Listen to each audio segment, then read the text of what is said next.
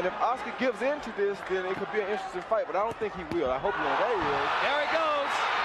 A great left hook. I told you that we're not uh, about to get hurt. A minute and 40. So you think De La Hoya can finish. There's the second knockdown. And Rafael is on oh. Queer Street. No quick stoppage this time by Richard Steele. De La Hoya with the punishment. And that's it. That's it.